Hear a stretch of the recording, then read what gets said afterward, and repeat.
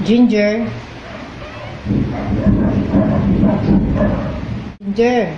Ginger. Bakit ka linis ng linis? Ali, kakain tayong langka. Inaalok ko si Ginger. Kasi, hindi naman yung kakain ng langka. eh. Pero yung may hilig sa langka, hindi ko aalokin. Dahil, ang takaw-takaw ko ng langka. Oh, ang sarap. Ang tamis-tamis pa. Ayun, ayun, ayun, ayun, ayun. ayun. Oh. Ayan, teka, kakain ako, kakain, kakain. Saan ba? Ako makuha. Siyempre, nakakadumi ng kamay yan. Ang mga daliri. Oh. Ayan. First bite for you. Ikakain na lang kita, ha? Kakain kita ng langkang matamis. Ginger.